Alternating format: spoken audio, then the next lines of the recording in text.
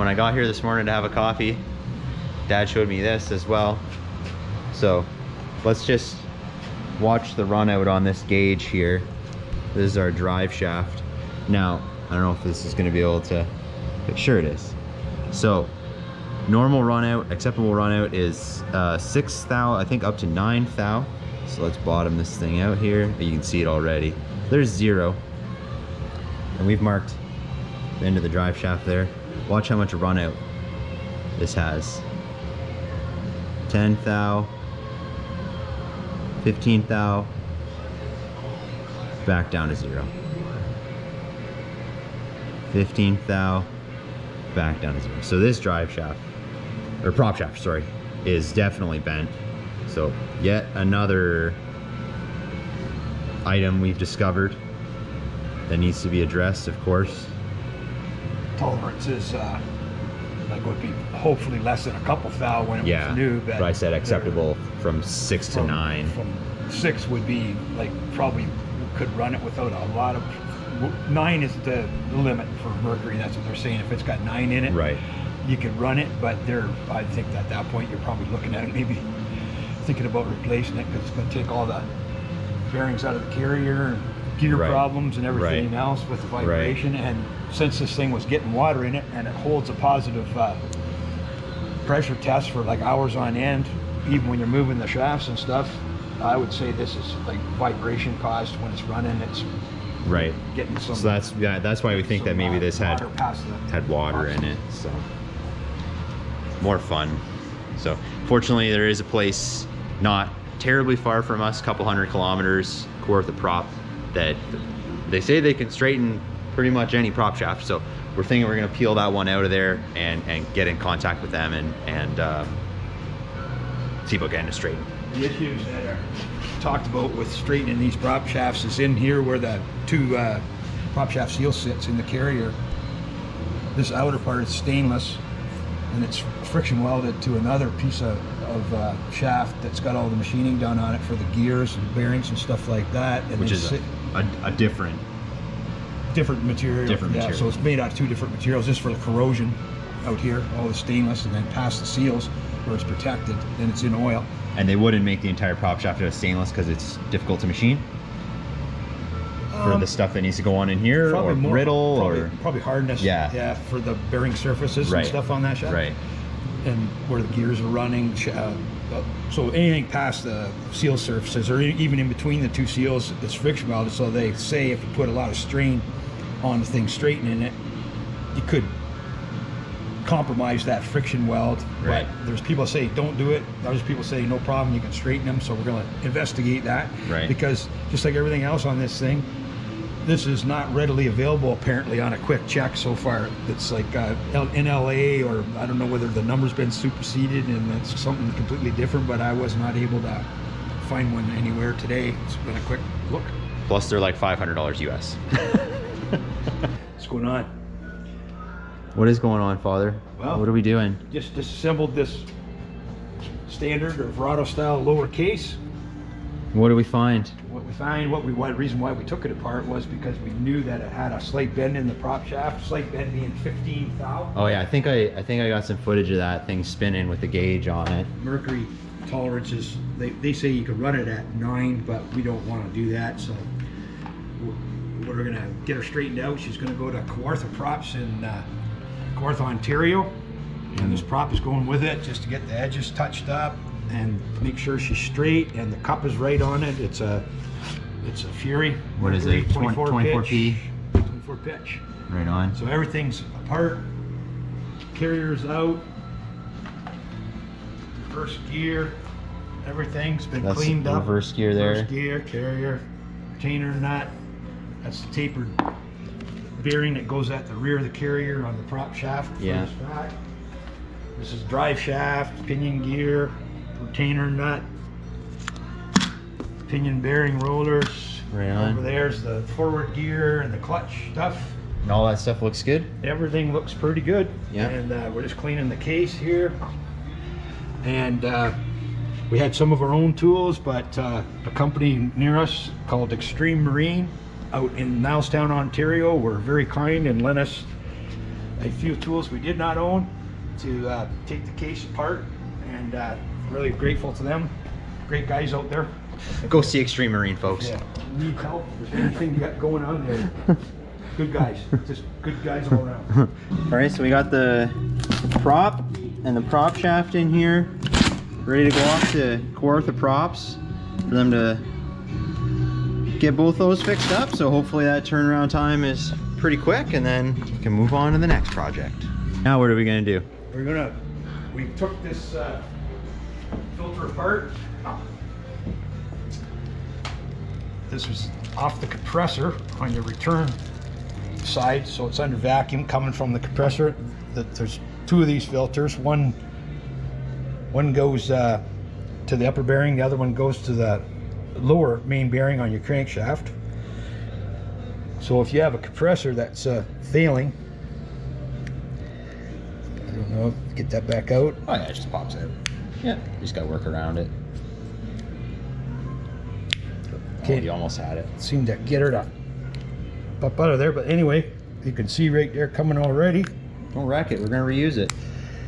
the, the metal debris that's inside the filter. There. And uh, that's a dead giveaway that you got a compressor failure happening along with the knocking and the uh, being able to spin it around with your fingertips forever. So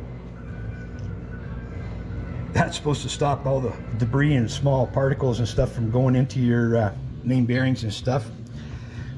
Apparently it works, I guess, but those need to be replaced and uh, all the lines got to be cleaned out. So right now we're going to do a little compressor autopsy.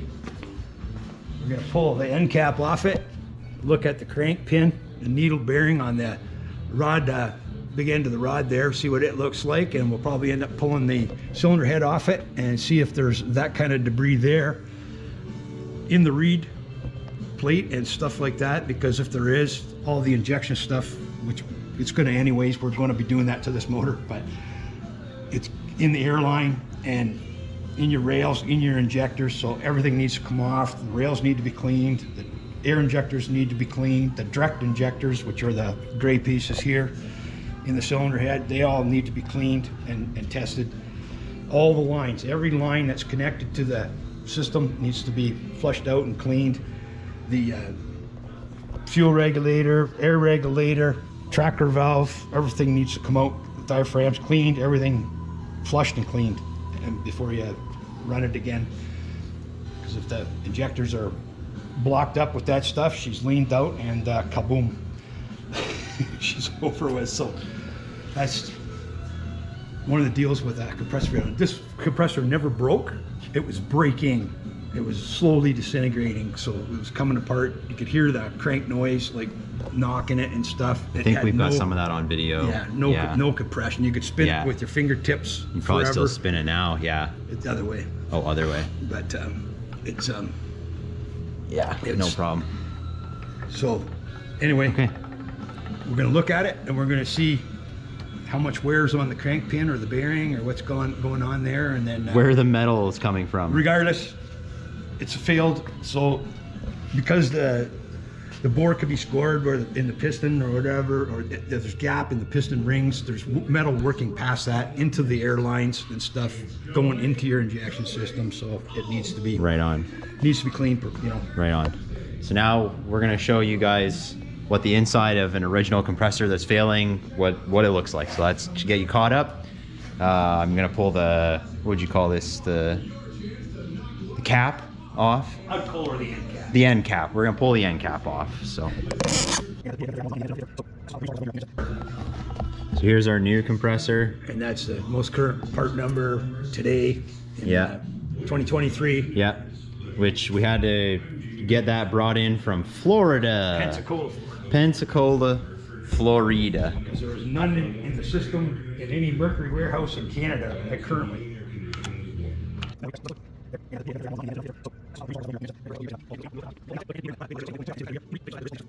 You gotta be able to get her to lift up because it's got like a O-ring in it, right? Oh, There you go. Now you got her oh, coming. here we go. Here we go.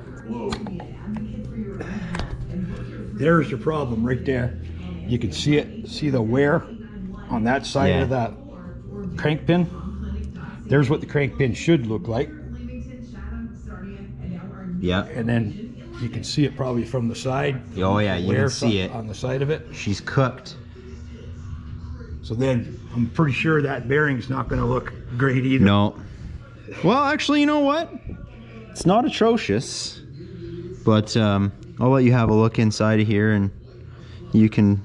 It's not uh, as I was expecting. You kind of be full of. Uh, That, but you can you can definitely oh yeah, absolutely. She's you can see the, junk. the wear on the She is junk. on the side of that crank pin. That's Yeah. where all your slop and noise and that's metal. Yeah.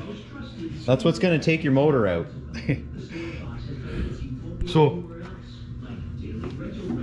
that's the only way to know.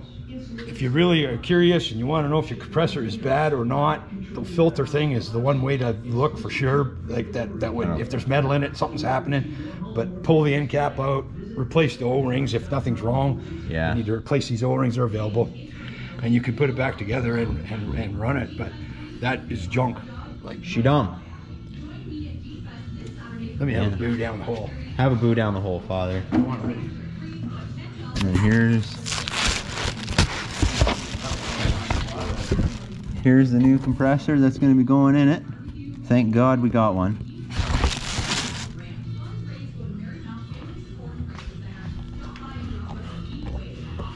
Remind me again what we were never going to do ever. Have an Optimax on the back of any bass boat we owned. And here we go. took that for a minute.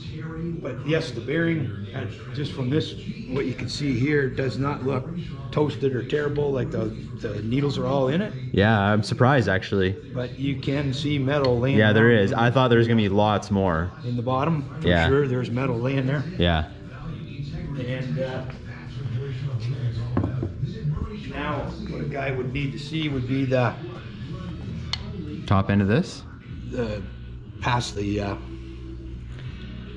if there's metal in the reed plate, if it's worked its way past the around the bore or got up through around the rings and out into here, then for sure there's gonna, regardless, because this had a compressor failure, the injection stuff is getting clean because Yeah. it just if you're stupid, you'd be stupid not to. Yeah. It just Yeah. These things are hundreds of dollars now. The direct or the air, like they're and And what's gonna have failed? This is the air. The air the air injectors side. are That's- more likely to have been gonna- damaged. It's going to be putting metal into the air side, which the air is pushing on top of the direct fuel side, so it's putting metal Right. into the Right. into the injector right and Right. plugging it or Yeah. whatever, uh, causing a failure possibly, whatever. Right on. Cool. Okay. On to the next. That's the inside of the cylinder Back head the light away a little bit. It's just way too bright. off the compressor, and you can see the rubber laying down inside it. Rubber From the dust and belt failure? particle. Inside there, it's got a layer of rubber around the inside of it from that had a catastrophic belt failure at one point. It shredded, filled the plenum and other areas. We'll show that in a little while, but anyway, that's No, I think I filmed that before with Yeah. the little camera. that's what I'm saying. We can, that's it's there, but this just showing you that it's working its way through the belt cover in the plenum and getting into the intake of the actual compressor as well. So it's getting in the compressor, it's pumping it into your injectors. that's what that, Yeah. that's what we're talking about here. Right. This is a reed plate, cylinder head. So we're gonna knock that off next, so we can look at the bore and see what the top of the piston looks like and around the edges and stuff like that. And uh, the back side of the reed plate, see if there's any metal. We're not seeing any metal right there right now, but we'll uh, find out in a minute or two.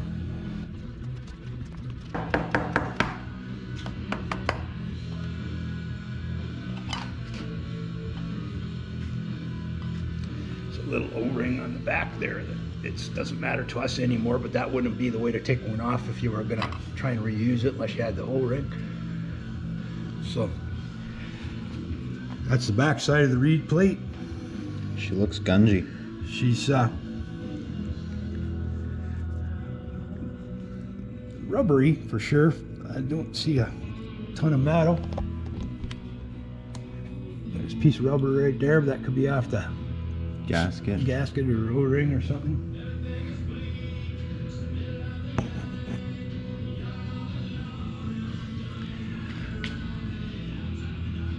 Actual bore.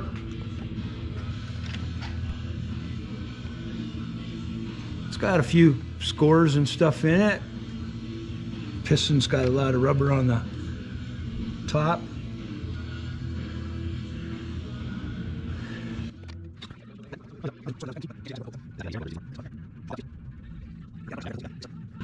In this case, for us, I'd say that's really good news. Like as far as like still gonna have the injection stuff cleaned, it just would be like not smart to, to do it. But um, it doesn't have a ton of metal, but does have rubber. So the rubber particles and rubber dust and everything is for sure same thing. Doesn't matter. Still gonna get in the system here, plug the injector stuff up, or can plug the injector stuff up. So. I guess they have no filter on them this particular year, Air filter you're talking. like air filter. Yeah. Yeah. So it, it probably is going to ingest a certain amount of rubber, but like it just, um, you know, there's like you can see actual chunks, pieces, small pieces. So that's just remaining in there now. But what's gone through it in the past, who knows? You know, right? Mm-hmm. It's more, more uh, injector plugging type of stuff than anything, you know. So, but yeah, so the compressor's junk.